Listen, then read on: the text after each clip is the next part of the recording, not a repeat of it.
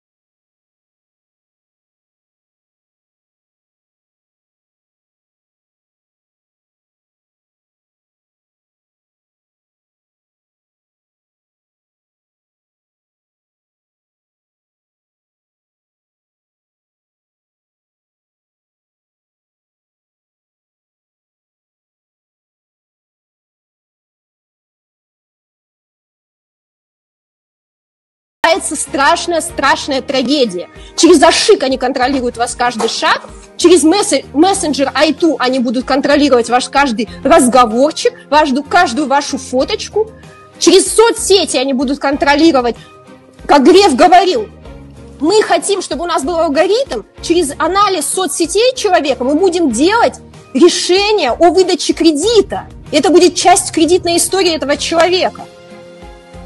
Поэтому все, выплаты. каждый, да. каждый ваш чих будет контролироваться в соцсетях. Вы уже ничего не имеете. Но скоро вы не будете иметь вообще ничего. Вы твердо решили, что режим Назарбаева пора менять? Узнайте больше о демократических программах и организации ячеек на сайте ДВК.